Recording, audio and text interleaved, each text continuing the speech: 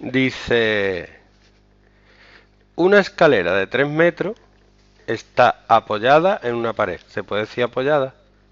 A esta hora. No sé. No, es que como hay padres están, tú sabes, los dejan que les den con la cabeza al balón, se hacen tontos los niños, pero le dice una palabrota, oh, dice una palabrota. Y Cristiano Ronaldo está todo el escupiendo, pero no pasa nada. Eso no pasa nada. 3 metros, 1,2 metros y alfa. Dice que calcule el ángulo. Entonces, como yo tengo la hipotenusa y el cateto contiguo, uso el coseno. El coseno del ángulo alfa es el cateto opuesto partido de la hipotenusa. Y esto me da 0,4. Yo me cogido la calculadora.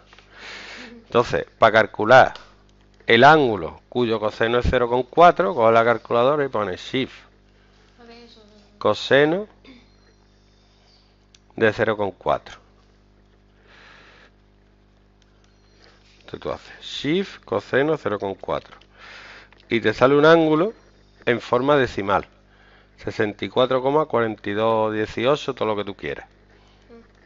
Para pasarlo a forma de sexagesimal, le das a este botoncito. Pi.